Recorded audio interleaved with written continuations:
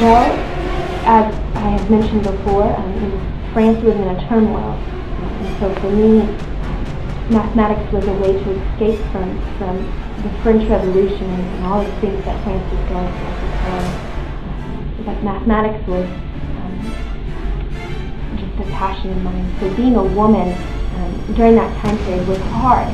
Nonetheless, it was very hard.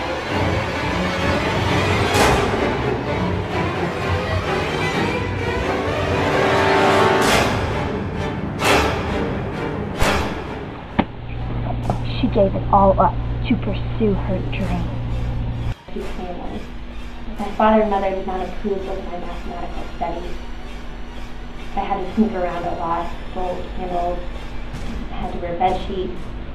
My parents never really approved of my studies, um, but they eventually ended up funding my research.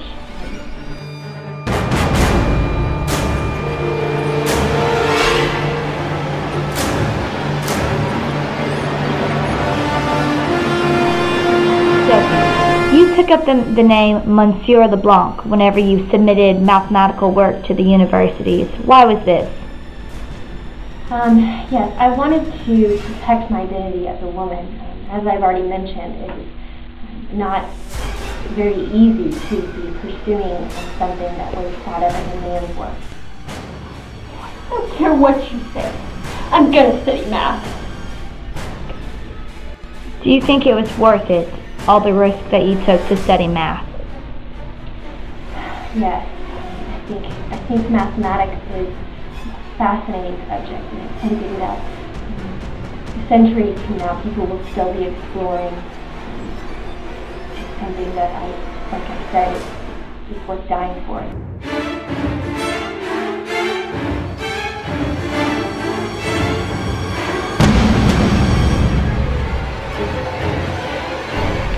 Mathematics was my passion. For some women, it's cooking or cleaning or attending to their husband. For me, it was, it was a life, a lifestyle. It was something that had consumed all of me, and I couldn't um, well, I had submitted three different papers, um, and on the third try, in 1816, I won the contest um, that it essentially um, the French Academy of Sciences had approved um, called The Memoir of Elastic Plate. Um, and it was my greatest contribution to mathematics, I believe.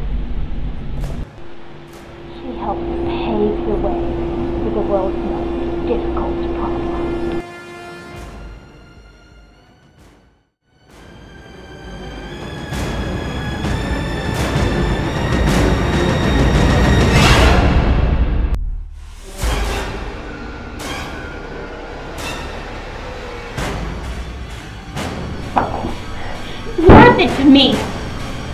Uh, Lagrange, who was actually my supervisor um, when I was undercover at Monsieur Leblanc, um, he actually became a mentor and friend and helped me in my studies.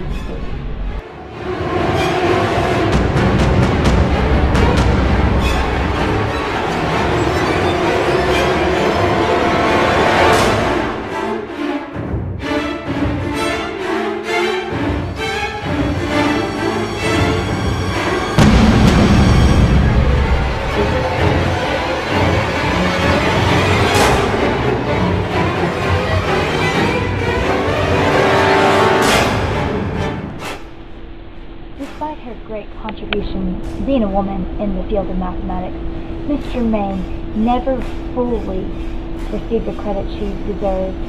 For example, all her theorems with elastic plates and elasticity allowed the Eiffel Tower to be built, yet her name was never credited like the other names on the Eiffel Tower.